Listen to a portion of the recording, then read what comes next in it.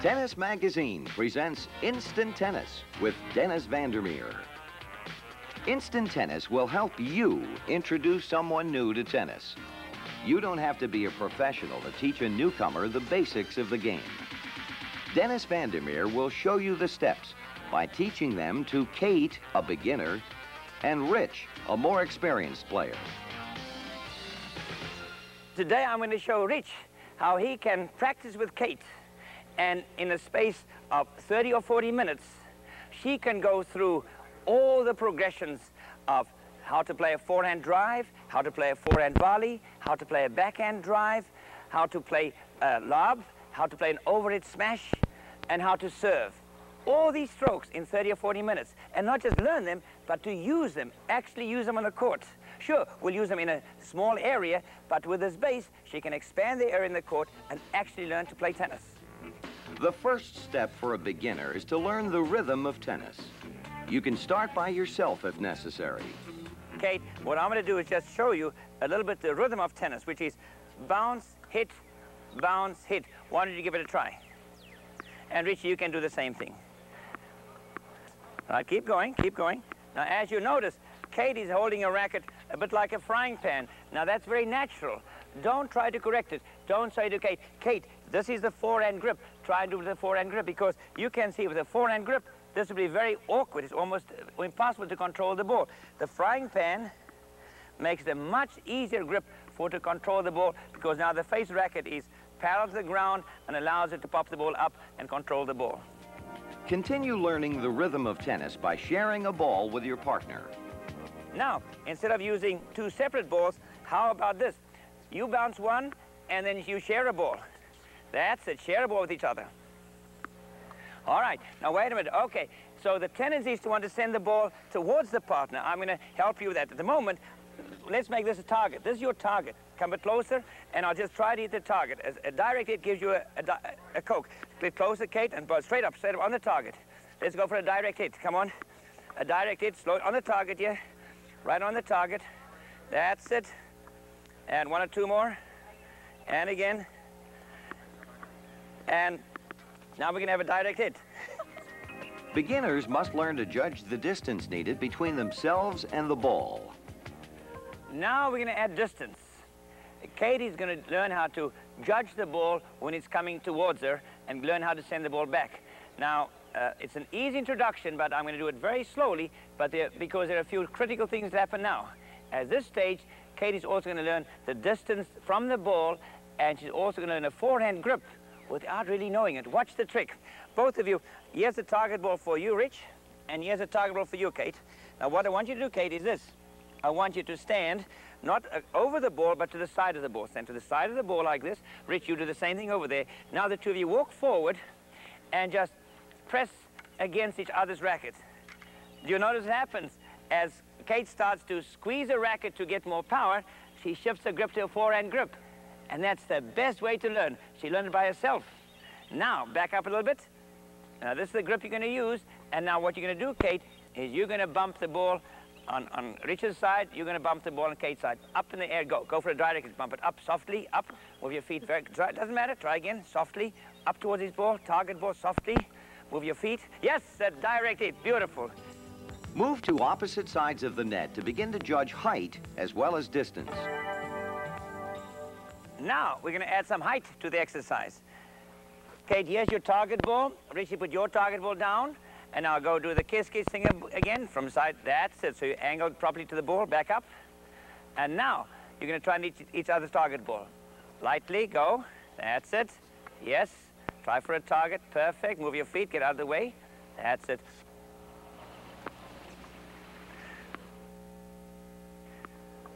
All right, that's terrific. Okay, let's take away the target balls now. Let's leave without the target balls, and now the net's your only barrier. Again, the kiss-kiss first, the kiss-kiss. Remember, it's a very important part, otherwise you tend to stand opposite each other instead of rackets being opposite. Okay, go close together. Now very lightly, go tap, tap. Easy little tap, easy little tap. That's it. That's it. Very good, Kay. That's okay. Now start another ball on the ground. Move your feet. Remember, you want to always move away from the ball if it gets close to you. You don't want to bring your, bring, clench your arm in. That's it. Oh, a target shot. Oh, didn't intend it even. You've mastered the forehand, so here are the four easy steps to learn the forehand volley. All right. Now, Kate, uh, lift your hand up and kiss, kiss the racket again. Very important tip. Remember, you don't want to stand opposite your partner, the hand and racket opposite each other. Okay, now, feed the ball, drop the ball on the ground. That's it, very good. One more time, drop it on the ground and try and touch it. All right, Kate, now the next exercise, now you have a bigger hand. You see, now there's no way to miss. Hold the racket like this, and now volley from here. There we go, and I'll keep it going. Yes. All right, now slide down, down a bit further. Okay, hold it right there, and bump it up, and bump it. Right, and now all the way down. Make five shots without mistake. Go. Yes, yes, you can volley. Yes, beautiful. All right, stop. Now, Rich, you come to net. After one partner has finished the steps, change roles and repeat them. Remember, the steps are one, use your hand. Two, choke up on the racket at the throat. Three, hold the racket halfway down. And finally, hold the racket in the regular position to volley the ball. Next, Dennis will show you the four steps for learning the backhand volley. Now, Kate, let's do the backhand.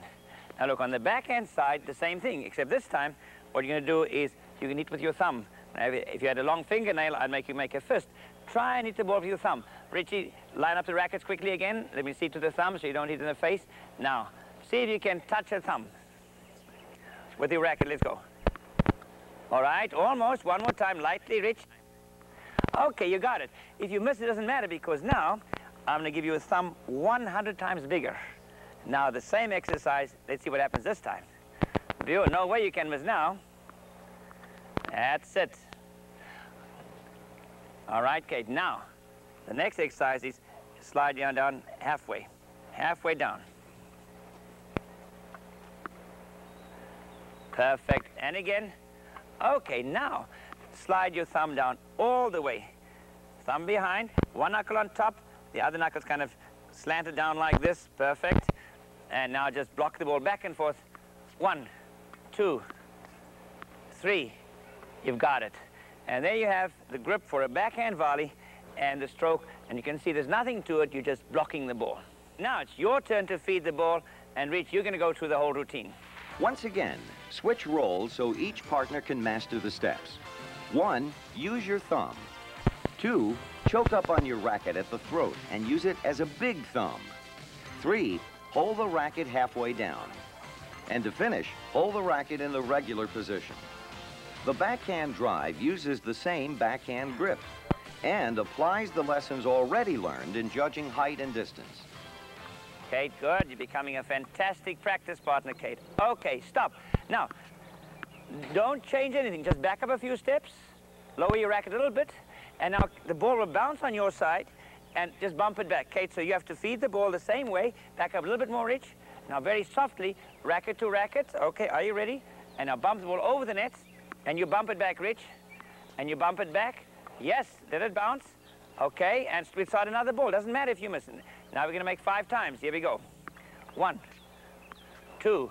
Okay, comes another one. One, two, three, four, five. Look at it. Don't take it back. Just bump it. Six. Terrific. You are rallying. You are rallying. Yes. Okay. Stop right there. Now, you do the same thing, Kate. Now, you go, and you're going to do the backhand. All right. Come back over here. Put your thumb back behind this.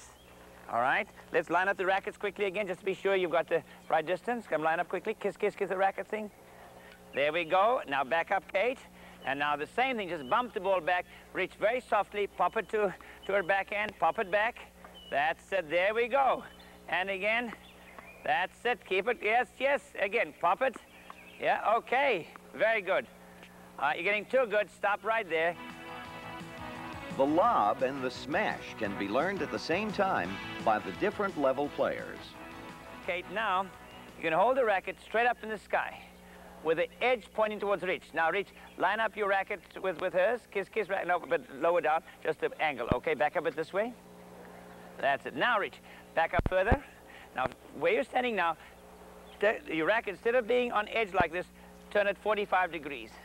Now, look what your job is now. Now your job is to see, drop it on the ground and see if you can hit Kate's racket. See, now the, you're going to play a lob. See if you can touch the ball with the edge of your racket. That's going to be something exciting. All right, that's very difficult. Almost impossible to do. So now watch, Kate. Instead of that, let's make it easier for you. Don't change your grip. This is the grip you chose to have. Now just turn your hand flat like this, and now reach, see if you can put it right on the racket. And you can move a little bit to get to the ball, okay? Try and touch it. Yes, and again. Another one. And touch it. Okay, now, it's so strenuous holding racket up in the sky. Have a rest. Just drop it behind your back. And now when the ball gets to you, then you go for it again. Just lightly touch it. Don't try to hit it, just touch it. That's it, and again. And just a little touch. Perfect. And now this time, step forward on your left foot. Right, turn a bit more sideways. Right hand up in the sky. And now Rich, you do the same thing. Here we go. And I'll find the ball. Okay, a bit higher the, the, the feet. There's a nice one. Perfect. One more. Here we go. And up in the sky. Another one, a bit too high. That's okay. And again. And perfect. One more. Dead center this time. Lightly. You got it. Okay, now you do the same for each. Alternate the roles, so each player will practice both the lob and the smash. The four steps to learn the smash are, one, try hitting with the edge of the racket first.